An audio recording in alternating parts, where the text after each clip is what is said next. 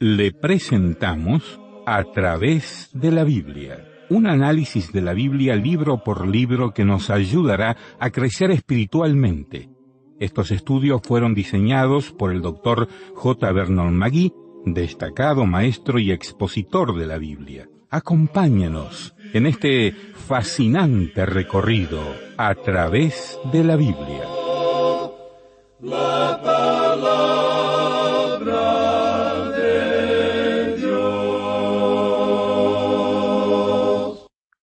Volvemos hoy a considerar, amigo oyente, el libro de Proverbios. Y vamos a ver el capítulo 16. Nos encontramos en una sección muy preciosa y no queremos quedarnos empantanados, pero muy importante, creemos, ya que estas frases nos llegan como producto de una larga experiencia. Frases cortas, producto de una larga experiencia, y han sido probadas en el crisol del tiempo. También se nos habla del sufrimiento y se ha hecho real y verdadero para nosotros por el poder del Espíritu Santo. Los proverbios son para todas las épocas, aunque ellos han sido escritos para un joven, de manera particular, y éste era un israelita bajo la ley de Moisés. Sin embargo, se amplía y habla a cada uno de nuestros corazones de una manera muy directa. Al pobre y al rico, al hombre, a la mujer, al blanco y al negro. No hace diferencia de ninguna clase de persona. Este es un libro que puede dirigirse a cada uno y tocarlo con lo que dice. Bueno, en el versículo uno de este capítulo dieciséis que vamos a considerar hoy dice Del hombre son las disposiciones del corazón, mas de Jehová es la respuesta de la lengua. Creemos que tenemos un proverbio humano que puede ir paralelamente junto con este, el cual dice El hombre propone y Dios dispone. Nos revela el hecho de que, como dice la palabra de Dios, que no es del hombre que vive el dirigir sus propios caminos. Él puede planear y usted y yo podemos planificar y arreglar las cosas, pero, amigo oyente, cuando llega el tiempo de hablar o de actuar, Dios es quien tiene la última palabra. De Él proviene la respuesta. Nosotros podemos jactarnos mucho, pero solamente Dios nos puede dar la respuesta. Ahora el versículo dos dice, Todos los caminos del hombre son limpios en su propia opinión, pero Jehová pesa los espíritus. Nuevamente tenemos un ejemplo de esto aquí, y ya se ha expresado en muchas formas. Antes lo habíamos visto en el capítulo 14, versículo 12, donde dice, Hay camino que al hombre le parece derecho, pero su fin es camino de muerte. Y aquí podemos ver que todos los caminos del hombre son limpios en su propia opinión. Es bien sabido por aquellos que han tratado con personas que están perdidas y a las cuales se les ha hablado de la salvación, quizá es usted un predicador o un maestro, y usted sabe que la respuesta que uno recibe la mayoría de las veces es, yo no necesito ser salvo, no necesito de eso. Todos los caminos del hombre son limpios en su propia opinión. Hay personas que contestan de esa manera y lo presentan aún como un desafío. Yo estoy bien. ¿Qué hay de malo conmigo? Yo estoy dispuesto a presentarme ante Dios. Soy una persona honrada. Y siempre contestan con cosas parecidas. Y también hay muchos creyentes que opinan que su andar y que su paso es perfecto ante Dios. Y todo este problema lo encontramos condensado en un versículo de la Escritura. Lo encontramos allá en la primera carta del apóstol Juan capítulo uno versículo siete, donde dice Pero si andamos en luz como Él está en luz, tenemos comunión unos con otros, y la sangre de Jesucristo su Hijo nos limpia de todo pecado. Usted puede verse en el espejo que es la palabra de Dios y considerar su vida y revelará cosas que no están muy bien. Usted no ha podido alcanzar el nivel, el patrón que ha sido establecido por Dios. Quizá usted puede alcanzar este nivel que ha sido establecido por la Cámara de Comercio de su localidad y quizá lo nombren a usted como el hombre del año. Quizá usted reciba alguna recompensa, algún premio por eso. Quizá lo reciba también en el club al cual pertenece. Quizá también sea felicitado en la iglesia a la que pertenece. Sus vecinos pueden decir que usted es una gran persona. Pero, amigo oyente, cuando usted se ve a sí mismo, a la luz de la palabra de Dios, entonces puede apreciar que tiene una necesidad. Usted puede ver que hay ciertas manchas allí en su vida. Usted puede darse cuenta que no llega a alcanzar la gloria de Dios, aun cuando a usted le parezca ser limpio según su propia opinión. pero no es así a los ojos de Dios. Porque si decimos que tenemos comunión con Él y andamos en tinieblas, mentimos, dice Juan, y no practicamos la verdad. Eso es lo que dice Juan allá en su libro, y él se está dirigiendo a los creyentes. Creemos que hay muchas personas hoy que están sentados cómodamente en un banco en la iglesia, y aún ellos están señalando a otras personas y diciendo, miren, ellos no son tan buenos. En cambio, yo sí soy bueno, yo me estoy portando correctamente. Y en realidad algunos de ellos aún le dirían a Dios que cambiara de lugar con ellos. Ellos quieren ir y sentarse al lado de Él y mirar a la gente y juzgarla, especialmente aquellos que son creyentes. Hay muchas personas en el mundo hoy que piensan que ellos pueden hacer las cosas por sí mismos. Pero aquí dice, los caminos del hombre son limpios en su propia opinión, pero Jehová pesa los espíritus. Dios es quien escudriña, amigo oyente. Hay algunas personas que no han entendido bien lo que dijimos allá en nuestro estudio de la epístola a los Gálatas. Hay algunos que han escrito diciendo, ustedes dicen que la ley ya no es buena para hoy, que la ley es algo que es ineficaz para el día de hoy. Bueno, no es eso lo que hemos dicho. Si usted escuchó cuidadosamente, amigo oyente, habrá notado que dijimos que la ley no puede salvarlo a usted porque la ley es buena. Pablo dijo que era buena, pero es un espejo. La ley le revela a usted que no puede alcanzar la gloria de Dios. Y amigo oyente, si usted observa la ley de Dios y aún así sigue creyendo que usted puede alcanzar el nivel que ha sido establecido, entonces no ha observado bien la ley usted no reconoce realmente lo que la ley está diciendo en realidad. La ley demanda perfección, y usted y yo no podemos producir eso. Por tanto, usted y yo necesitamos un Salvador. Y eso es lo que la ley hace. Es un maestro que lo lleva a usted hasta Cristo. Lo toma a usted de la mano y lo lleva a la cruz y le dice, escuche amigo, lo que usted necesita es un Salvador. Eso es lo que nos dice la ley. La ley es buena, pero no es para salvarnos, no puede salvarle, amigo oyente. Si usted toma la posición escrita aquí en Proverbios, todos los caminos del hombre son limpios en su propia opinión, aun con la palabra de Dios ante usted, entonces debemos decirle, amigo oyente, que no hay peor ciego que el que no quiere ver, porque debe recordar que es Jehová quien pesa los espíritus. ¿Ha podido ver usted alguna vez una balanza que pese los espíritus? Bueno, amigo oyente, queremos mostrarle una, la palabra de Dios.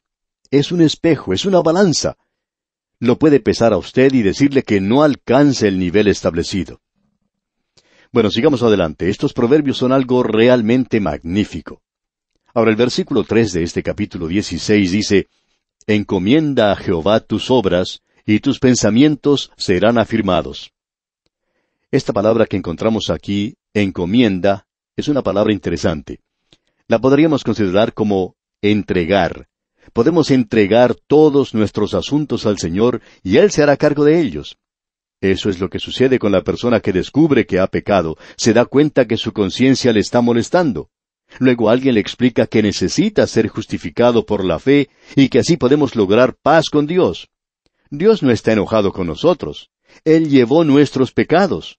Así es también con otras cosas en nuestras vidas podemos entregar las cosas que nos están preocupando y darlas a nuestro Señor Jesucristo y descansar en Él. Encomienda a Jehová tus obras. Podemos entregarle todo a Él.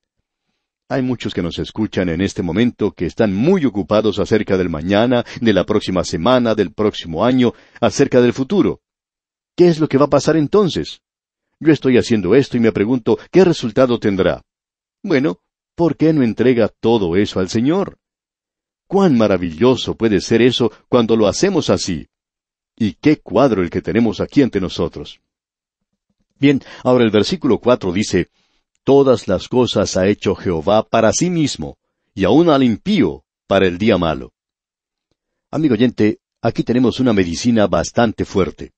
Aquí tenemos un proverbio que lo puede mandar a usted de viaje y un viaje verdadero todas las cosas ha hecho Jehová para sí mismo. ¿Se ha preguntado usted alguna vez por qué es salado el océano? ¿Y por qué existe una marea? Bueno, eso es según ciertas leyes. ¿Y quién hizo esas leyes? ¿Sabe usted por qué es salado el océano? Es porque Dios quería que así fuera. El Señor Jesús fue el Creador y Él quería que ocurriera así. Ahora alguien quizá diga, bueno, eso es debido a ciertas leyes que la tierra ha sido filtrada y ha hecho el océano de esa manera. Bueno, entonces, ¿quién puso la sal en la tierra para que fuera así? Es interesante ver que no importa las cosas que usted hace con la evolución, uno tiene que ir al pasado, a una época cuando es necesario tener a alguien que haya hecho algo para que comience esto. ¿Y sabe usted quién comenzó todo esto? Dios lo hizo, amigo oyente, y no solo eso, todas las cosas ha hecho Jehová para sí mismo. ¿Cuál es el propósito principal del hombre? Bueno, eso lo aprendimos allá en el capítulo del Catecismo hace mucho tiempo, y es bueno, ¿cuál es el propósito principal del hombre? El propósito principal del hombre es el de glorificar a Dios y de disfrutarle para siempre. Ahora no interesa quién es usted o dónde se encuentre, Dios lo ha creado a usted para su propia gloria. Ahora quizá alguien va a decirnos, ¿Y qué me dice entonces del borracho de la esquina? ¿Y qué acerca del ladrón del día de hoy? No vamos a identificar a más personas de esta manera, porque alguien va a decir que estamos buscando alguna disensión con cierto grupo. Bueno, tal cosa no es así. Uno puede encontrar personas pervertidas en cualquier parte. Ese hombre perdido, ¿qué me puede decir acerca de él? ¿Quiere decir que ese hombre es para la gloria de Dios? Amigo oyente, esto es algo bastante fuerte. ¿Puede aguantarlo usted? Todo eso es para la gloria de Dios. Alguien nos puede decir, a mí no me gusta eso. No recordamos que Dios le haya preguntado a usted alguna vez, amigo oyente, si le gustaba esto o no. Él nunca me preguntó a mí si me gustaba o no me gustaba. Y francamente hablando, hay ciertas cosas que yo no comprendo, y podría ser que yo hiciese algunas sugerencias al Señor. Pero el Señor me dice, yo no he hecho el universo para ti. Este universo existe para mí y tú existes para mí y tú serás para mi gloria, ya sea eso bueno o malo, ya seas perdido o santo. Dios va a lograr su propósito hoy, amigo oyente. ¿No le parece a usted que es tiempo para que usted se ponga a andar con Dios? Él es quien está a cargo de todas las cosas. Hay muchas personas que quieren estar seguras que están hablando con la mayoría, andando con aquello que es popular, andando con aquello que va a dar resultado. Amigo oyente, yo no sé cómo van a resultar las cosas en este mundo, pero esto sí sé, esencialmente todo es para la gloria de Dios. Y aún el impío para el día malo. Dios va a ser quien haga que la ira del hombre le alabe. Usted me dice, ¿cómo? No sé, tendremos que esperar. Él nos demostrará eso algún día. ¿Está usted dispuesto a confiar en Él y a encomendarle a Él su camino y a andar con Él? Lo maravilloso del día de hoy, amigo oyente, es que Dios está haciendo andar a este universo según su plan y su propósito. Hay un refrán griego que dice, los dados de los dioses están cargados. Y eso es exactamente lo que Dios le está diciendo a usted hoy. Ahora, gústele o no le guste, Dios le está diciendo a usted que no juegue con Él. No actúe como si Él no existiera.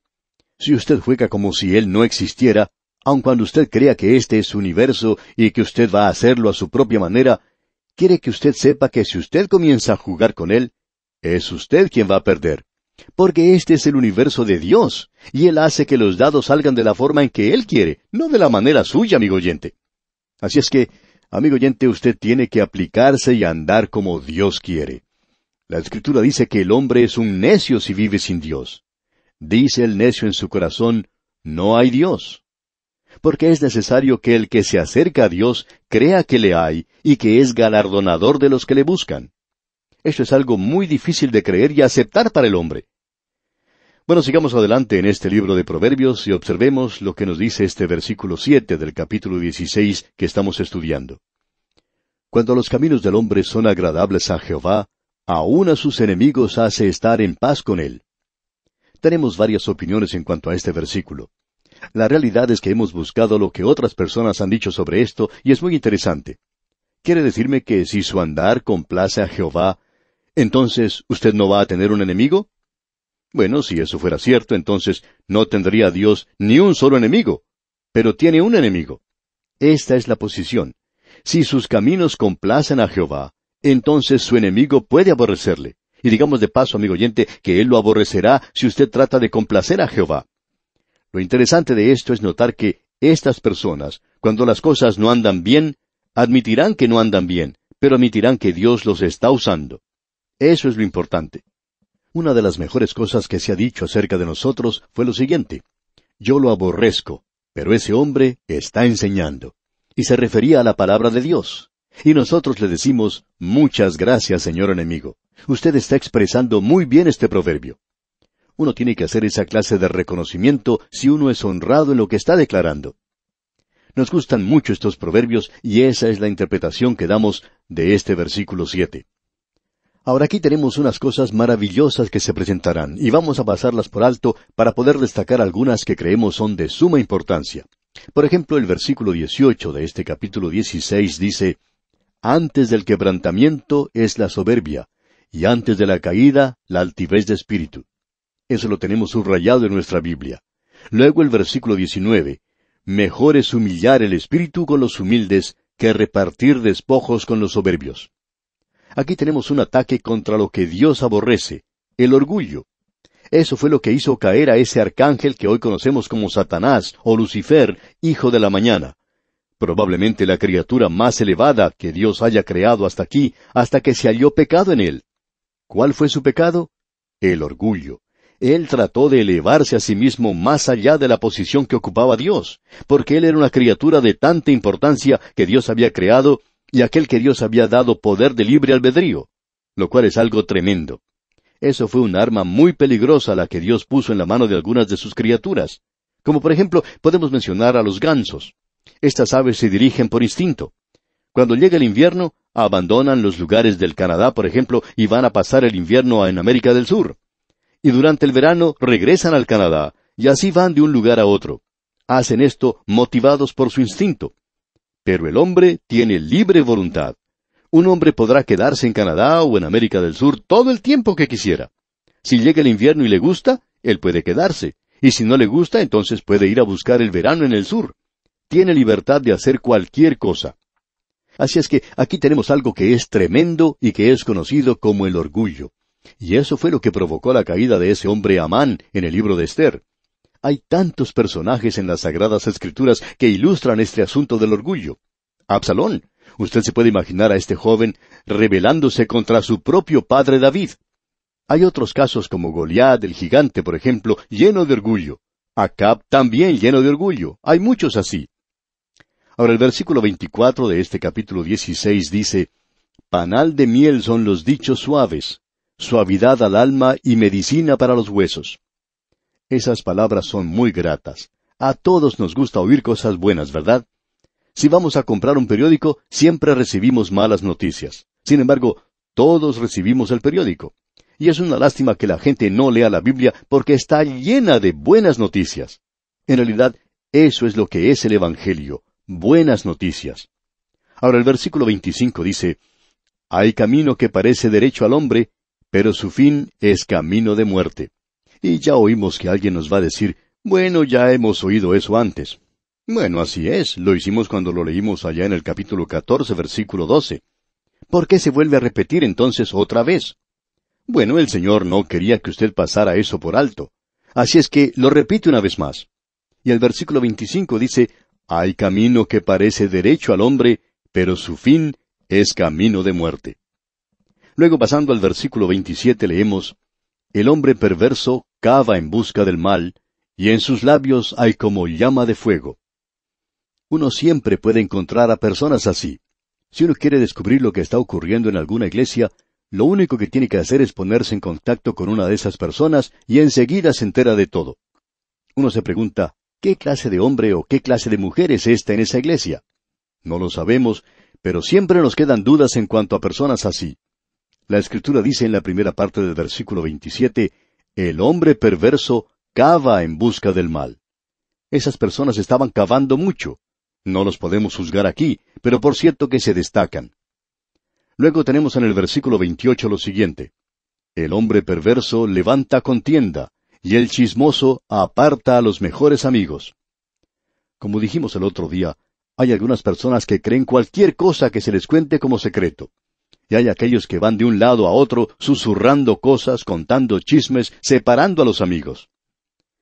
Y el versículo 33 de este capítulo 16 de Proverbios dice, La suerte se echa en el regazo, mas de Jehová es la decisión de ella.